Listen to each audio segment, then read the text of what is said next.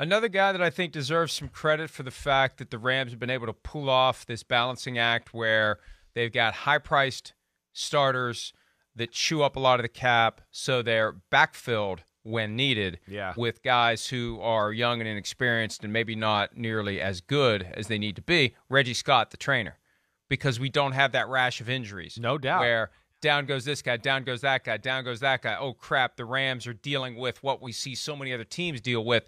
And I always have that that little blip ready to land on a radar screen when a team has too many injuries. Is it bad luck or is there something going on? Yes, right. with flexibility, strength, their Right. techniques, their diet, whatever, because we see it all the time. Guys get pretzeled up in all sorts of weird formations of their bodies and they pop right up and they're fine.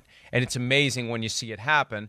But at some level, that is a product of sound, cutting edge, effective strength, nutrition, flexibility, training of those players. A hundred percent.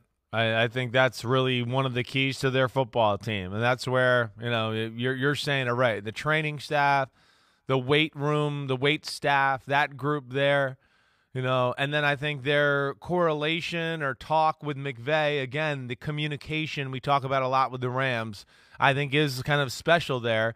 To where yes, they seem to when they do have injured players. You know, they don't rush them back. They seem to always kind of find the right way to get them back on the football field. And there's obviously a way with veteran star players that you're kind of thin where they have found that right way. Hey, like like the day, hey, I'll I'll tell you the day that 2 weeks before the Super Bowl, I'm there and you know they hadn't practiced yet. It was a Tuesday, right? 2 weeks before the Super Bowl you know that day there they came in for some meetings and the day was going to be about get a legit like weight workout in. We're going to like really lift some weights and get some sweat going and build some muscle up here in our week off. And then the next day they were going to come in and not work out and have quick meetings but just go out on the field and kind of have a walkthrough and throw some balls to the receivers and do that. So that's to me the magic of the rams and McVay and having that feel for what the players need and want to be successful And at the other end of the spectrum, I think back to 2018, Hard Knocks, Cleveland Browns, one of the more compelling scenes that we have witnessed from that series because really most of the best scenes end up on the cutting room floor because the teams recognize probably not the best idea to let the right. world see this. Right. It was Hue Jackson and Todd Haley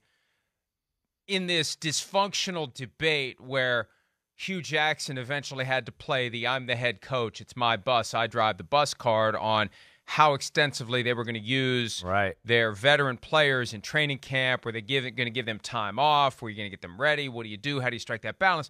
And just the fact that it turned into a debate on the fly in the meeting room. That's stuff that you figure out before you even get to camp. A hundred That's stuff that's baked into how you run your team. You're not having those debates, or at least the functional programs should not be having those debates during training camp coaching meetings. You already know. You have it planned, and there's a quality of deference to the coach that isn't dictated, it's earned. Exactly. The coach sets the agenda. Yes. The agenda works, and everybody else goes along with it because it works. Because he And showed us it group- works. Right. That's right. And you've hired a group of people who understand you got to defer to the coach. And you don't have that crap go on that is so reflective of why the team has been. I mean, we've had some recent examples, one that's still ongoing that we'll talk about later about why the Browns are so damn dysfunctional and they can't get out of their own way. But that was a prime example of why this team was 1 and 16, 0 and 17, whatever the yeah, 1 and 15, 0 and 16. I'm already screwed up with the 17th game. But when you see that and you compare it to the Rams, the Rams don't have those issues.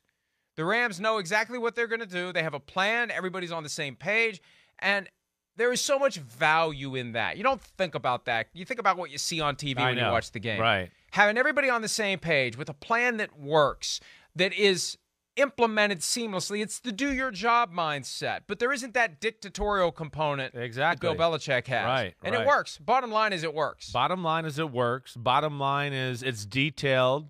You know, you know, maybe not everything like New England or whatever, but it's detailed for sure.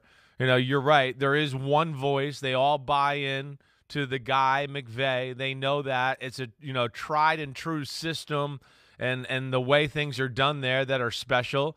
And he's got a coaching staff that understands that too. Yes, I mean I I think and then there's also the connection there of where I think this is where really the, the teams on the next level all have it, and that's hey, Patriots, Ravens, uh, uh, of course the Rams, the 49ers, the Buccaneers got it right now for sure. Where I feel like the Kansas City Chiefs, where I feel like there's no uh, Buffalo Bills. I, I know I'm leaving a few teams out, but everybody's getting the point here. Teams where there's no we don't feel like you don't know you don't feel like there's a civil war in the building by any stretch of the imagination. You feel like the front office and the coaching staff are on the same page and uh, there's a plan and they understand the communication that it takes to oh wait we got to address this position or what do you like at this position? What kind of player are you looking for? So i can study and and show you a bunch of guys just like that. That to me is why you know some of these teams that we continue to talk about on a yearly basis are who they are because of the things you're discussing and and i think the connection throughout the organization. At the core a spirit of cooperation the lack of that basic dysfunction, a coach and a GM who are joined at the hip, not ready to blame the other guy for everything Right. that goes wrong. There's always going to be some adversity. The Rams had a three-game losing streak at Sure. one point last the year. The Titans right and after, Vrabel and AJ Right, Brown they- and all they- that They went in and kicked their ass on a Sunday night. yeah, Right? And then they right. they had that that game against the 49ers in Odell Beckham's debut that was kind of clunky and yes right and and and you know it, it it and so when that happens it's all the more important to have everybody on the same page. We're Yeah. sticking to our plan and it will all work out. Because there are some teams out there when you have that three game losing streak they fall apart. Because you got people saying god you know what you know the general manager i mean yeah right. or, or, or the general manager whispering into the ear of the, co- of the owner right. that What the coach, keeps is an screwing up. Right. exactly. Right. Because everybody's trying to stake out territory for when the crap hits the fan. Right. And so I'm staying, he goes because it's his fault, not mine. You don't have that with the best teams. And that's why there are people in the league, and we've talked about this before, I believe, who are convinced there are only 10 teams at any given time you have to worry about. yeah right The others are just there. right Uh, There are 10 teams, yeah. and, and it changes. It Yeah. changes, and there are, there are teams that enter and teams that exit, but there are a nucleus of teams that know what the hell they're doing, and everybody else is just acting like they know what they're doing. Uh, agreed, agreed, and, and also I think added on top on top of that of the knowledge and actually know what they're doing. I think the other phase of that, and we've discussed this too, is there's only a few teams to me that really all at the end of the day, you know, push it all in the middle of the pile and go, we're going for it this year. Everything here we go. We expect Super Bowl. Uh, you discuss this a lot and you bring it up, but I think it's very true. I think you know not not all teams do that. I think they might push a big portion of the pile in and they go, playoffs will be good, but wait, I don't know if we're going to push that other part in there that could make us a hair vulnerable, but we're going for it. Uh, I think those are few and far between, and I think you know the teams we're discussing are the ones that are kind of all in right now because yeah, they they have all the pieces of the formula, and then of course the players to match it to be able to go, all right, let's do it, let's make that extra move, or let's do this right here because the time is now. They all say they want to win the Super Bowl every year. A handful can say it truthfully. The rest are just trying to get you to renew your season tickets. I mean, it's that simple. And all they want to do is contend into December. Let's stay in contention. That's why there was no pushback from anyone. When they expanded the playoff field to 14, nobody complained at all because you stay in contention even longer when there are more seats at the postseason table. Remember, we were at the scouting combine that year, and we were asking the coaches about it, and they all loved they were all in They favor. all we were all like, supported why? I mean, why? I mean, yes. Yeah, that's the ultimate litmus test. Yeah. Did you make the playoffs to determine whether or not your job is safe? Not many coaches who make the playoffs get fired. It's happened, but not many do because that's your pass fail. Did you make the playoffs? Well, the more playoff spots available, then I got a better chance to save my job. And those are just some of the organizational and human issues that drive these teams. And there are some teams that have it figured out, and most teams, frankly, do not. And that's what makes it hard for the fans of those teams because until you get a new owner, it's not going to change. And look, look, the Broncos fans have to be thrilled. Now, they don't know what they're going to get. I know I'm deviating, but I will get back to the point here. But I just want to say this. The Broncos fans have been dealing with since winning Super Bowl 50, which I think is the aberration because it was Peyton Manning fueled. Once Peyton Manning was gone, look where they were. Why were they there? They haven't had an owner. John Elway managed the best thing he did as the head of football operations in Denver was to get Peyton Manning to come to town. Because once he was there, that was basically like having the owner. You got the sheriff. So as long as he's there, you're going to be good.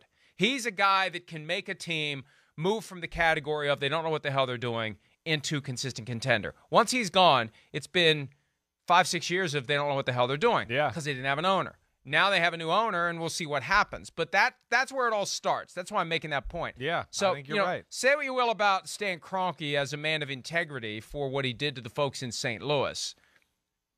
The guy is willing to, To cut the checks. moves, no doubt. The Right. guy is willing Right. to borrow from his super yacht maintenance fund to take care of his most prized assets on his football team. Not every owner does that, even though there are plenty of other owners that have more than enough money to do it if they wanted to. No, you're right. Not every mo- owner can do that. Not every owner, you know, one of the things, I think the things that's a little bit of the dirty little quiet secret of the NFL, a little, is not every owner has the cash on hand to throw out some of these contracts, you know, on a one year basis, or this money's guaranteed for this year with four other players. And holy crap, we got 110 million guaranteed between three guys this year that I got to pay them cold hard cash, or the signing bonuses that go with it. That's the other part that you know, plays into this for sure. But I think you're right, Mike. I mean, it does start with the owner. And I think with some of the teams that we mentioned there and the teams that we talked about that are kind of the mainstays right now in the NFL, I think they all got that in common too. And and you're right. And for the most part, to that and to another point you make, owners that seem to be around, not like always gone. Not that they're there every day, but they're hovering around the not, franchise. not like live in Manhattan when their team's in Miami. Exactly. That's that's what I mean. They're around. Not that they're there every day, but their your pre- their presence is felt. You oh, they might walk in today. We don't know. Whatever. To me, there's definitely value in that as well. Hi, I'm Mike Tirico, and thanks for watching. Make sure to hit subscribe for the latest news and highlights from NBC Sports.